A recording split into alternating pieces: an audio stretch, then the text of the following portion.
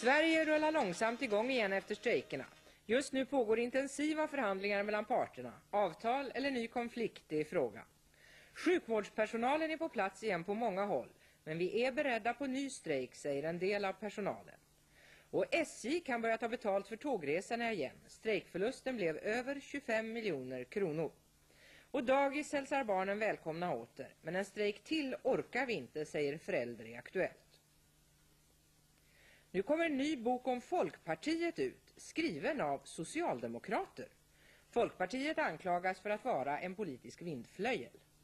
Ja, jag tycker det är fantastiskt att man visar Folkpartiet detta intresse. Det måste ju innebära att eh, Socialdemokraterna uppfattar det som ett hot. Det tycker jag är bra. Med den här automatiska kopplaren slipper man det tunga och farliga arbetet att byta redskap till hjullastare för hand. Uppfinnaren fick idag det lilla Nobelpriset. God afton och välkomna till Aktuellt. Ja, idag började alltså återgången till en normal verksamhet i Sverige sedan strejkerna tagit en paus. I förmiddags började de intensiva förhandlingarna direkt mellan parterna.